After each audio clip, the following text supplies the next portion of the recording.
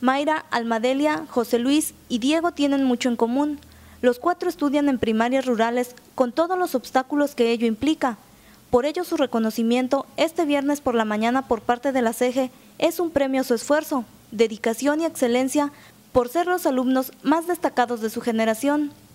El evento de reconocimiento que tuvo lugar en la primaria Belisario Domínguez de los Llanitos fue encabezado por el jefe de Educación Básica de la CEGE, José Luis Castro Barretos, acompañado del alcalde Rafael Lara y la directora de Educación del Gobierno Municipal de Río Verde. Los cuatro estudiantes, Diego Alejandro Hernández Ibarra de los Llanitos, Mayra Silvia Rodríguez Arellano de Puestecitos en Ciudad Fernández, Almadelia Martínez Don del Capulín y Edgar Baudel Solís Gómez de San José del Tapanco en Río Verde, recibieron sendos reconocimientos de las autoridades, luego de obtener los primeros lugares en la Olimpiada del Conocimiento el municipio de Río Verde les otorgó una tablet para que puedan facilitar sus estudios, mientras que en Ciudad Fernández una tablet a cada uno, además de su foto con el presidente de la República, a quien conocieron hace unos meses.